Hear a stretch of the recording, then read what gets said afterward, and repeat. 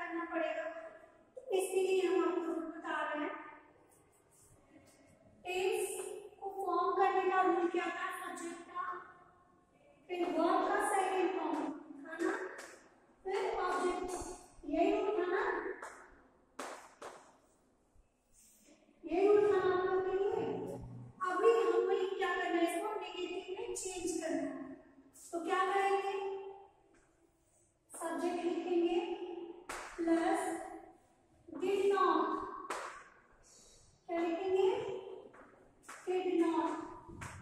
जैसे कि past tense में डू का यूज़ और डच का यूज़ करते थे प्रेजेंट टेंस में डू और डच का यूज़ करते हैं, वैसे पास्ट टेंस में डिड का यूज़ करेंगे। और नॉट वहाँ पे राइट करेंगे, और जब डिड नॉट का यूज़ करेंगे तो ये जो हमारा वर्ड का क्या हो जाएगा? फ़र्स्ट फॉर्म हो जाएगा वर्ड का, और ऑब्जेक्ट हो जाएगा। ओके बस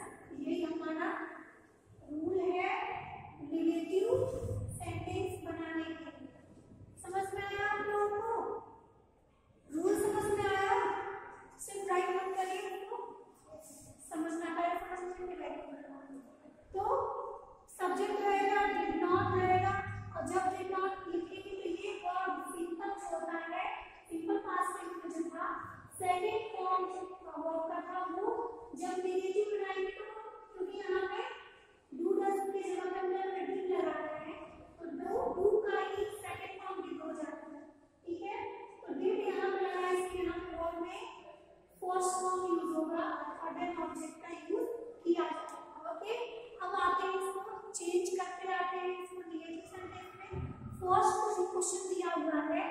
द बस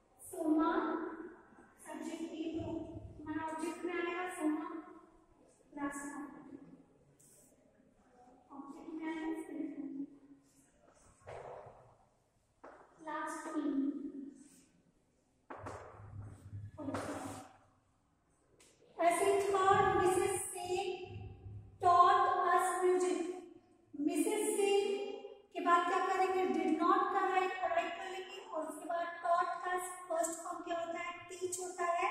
तो teach us music okay for it they went to the doctor immediately तो क्या करेंगे? दे लिखेंगे फिर डिड नॉट का यूज़ करेंगे। वेंट का फ़र्स्ट फॉर्म क्या होता है? गो गो गो का सेकंड फॉर्म होता है went and third form gone तो गो राइट कर लेंगे।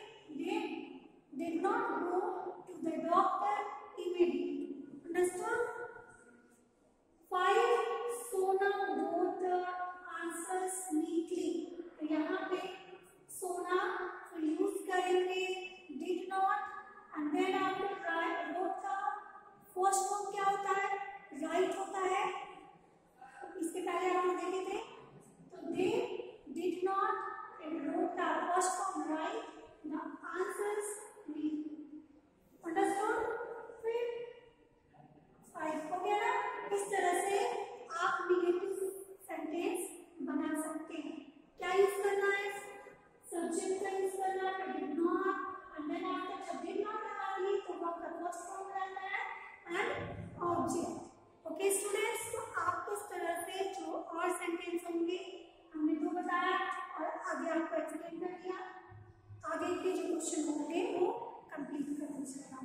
Okay, students, thank you.